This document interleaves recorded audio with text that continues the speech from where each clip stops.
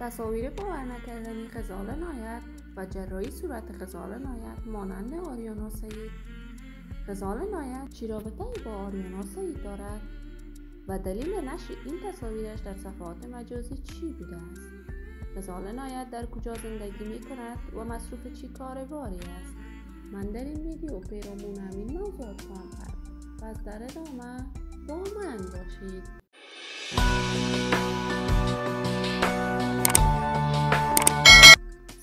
شما را خوش آمدید. میگم به یکی دیگر از ویدیوهای جذاب کانال دنیا اینفو برای حمایت از من علامت subscribe را فشار کنید از ویدیوهای دیگر کانال من هم آگاه شوید.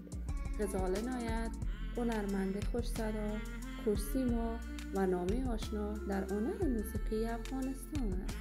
غزال عنایت در یک خانواده هنری و با استعداد به دنیا آمده است.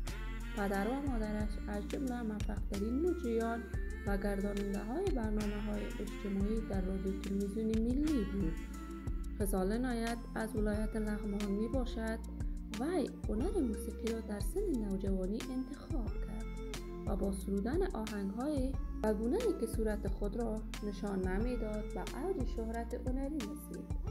غزال نایت در کابل بانک کار می‌کرد. بعد از فروپاشی این بانک با خانوادهاش رفت سپار کشور کانادا شد.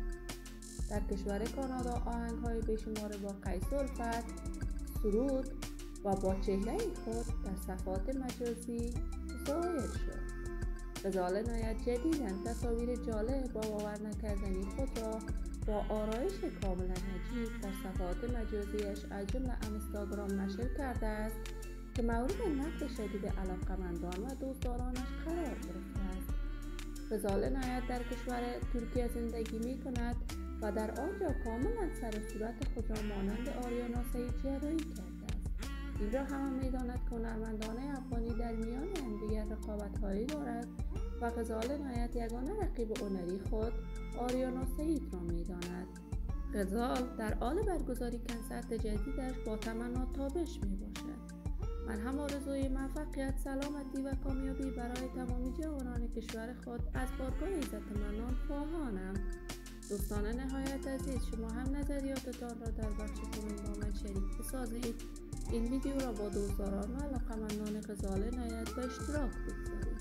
اگر تا هنوز دوست کانال من نشدید پس برای حمایت از من علامت subscribe را فشار دهید ویدیوهای من را like نموده. و با دوستانتان به اشتراک بگذارید.